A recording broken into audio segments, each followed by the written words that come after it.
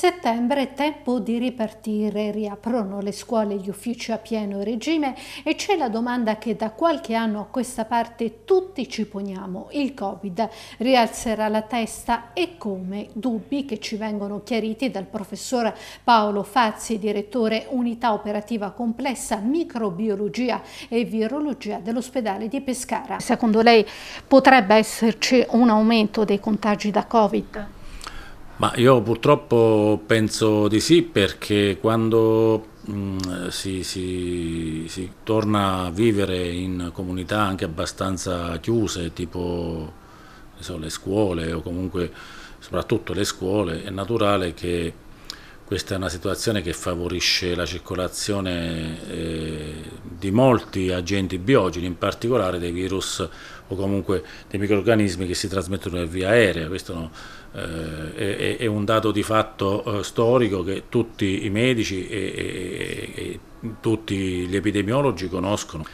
E la fortuna qual è? La fortuna è che questo è un virus che sta diventando sempre meno patogeno quindi eh, la circolazione verosimilmente ci sarà, ci sono delle, delle nuove varianti che sono molto mh, infettanti, abbiamo visto Eris che è infettante, c'è questo Pirola che spaventa un po' la comunità scientifica che è molto molto infettante, però sembra che comunque siano eh, tutti, tutti virus ceppi non particolarmente patogeni.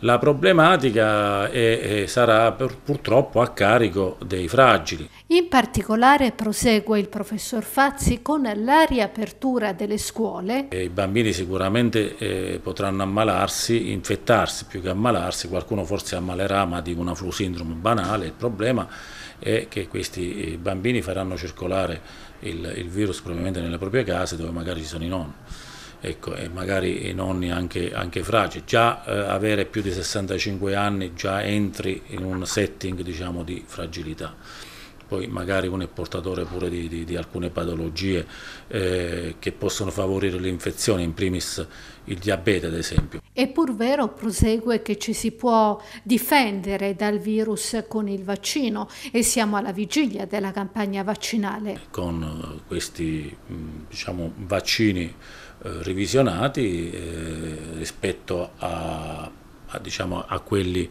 a cui eravamo abituati a con i quali ci, ci, si vaccinava fino a poco tempo fa e sono diciamo, vaccini che dovrebbero tutelarci molto. Tra l'altro gran parte della popolazione ha avuto contatto con il virus, eh, alcuni addirittura anche con malattia, quindi tra eh, vaccinazione e eh, ricordo immunologico di una pregressa eh, infezione barra malattia è naturale che il microorganismo eh, potrebbe trovare eh, terreno non proprio eh, facile per dare appunto patologia.